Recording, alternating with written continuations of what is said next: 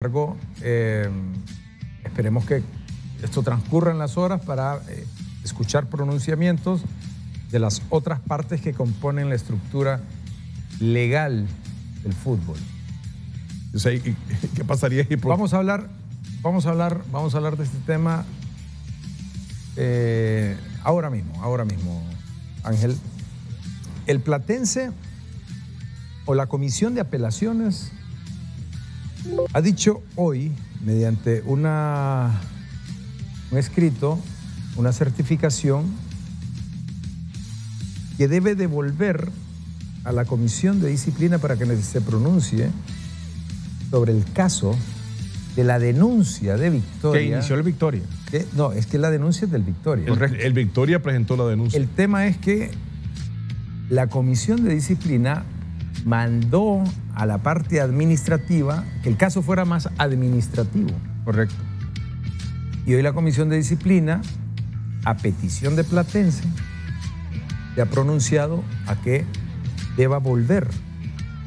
o sea, el máximo a la organismo comisión- de justicia lo pasa a un organismo subordinado, que es la Comisión de Disciplina. Sí, porque la Comisión de Apelaciones es el máximo. Y es el último. Sí, es el último. Va a El una último- la apelación y la, instancia. la La Comisión de Apelaciones le dice que Vuelve a la Comisión tiene Nacional. que resolver y no abstenerse pasando el caso al plano administrativo.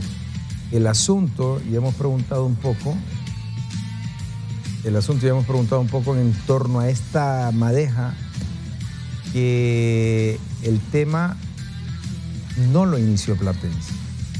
Y no le puede dar seguimiento el Platense, por supuesto. No, el tema fue una denuncia planteada por Victoria y Victoria se retiró al final de la, Desistió de la travesía, digamos.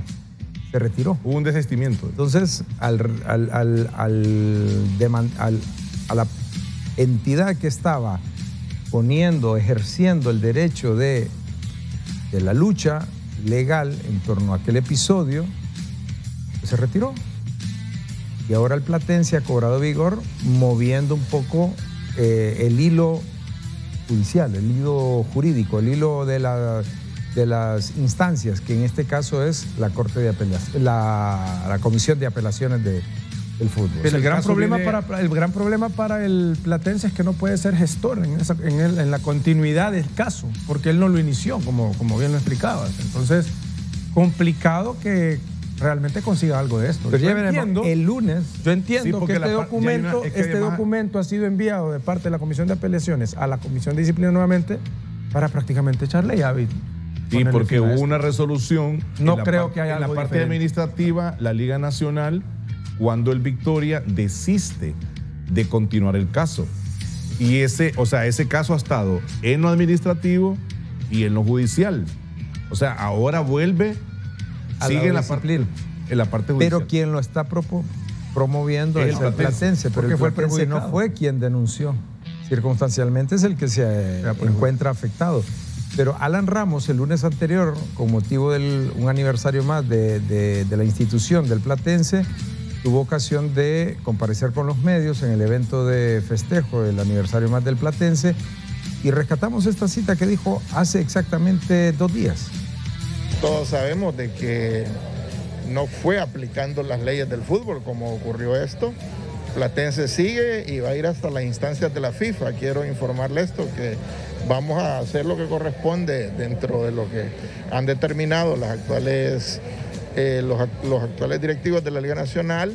Pero sin embargo, Platense va a seguir hasta las instancias de FIFA porque no es aplicando la ley como, como ocurrió eh, este descenso de Platense. Platense tiene una relación internacional con abogados que representaron en algún momento a Rambo, a Edgar, a Costely, a Osman Chávez.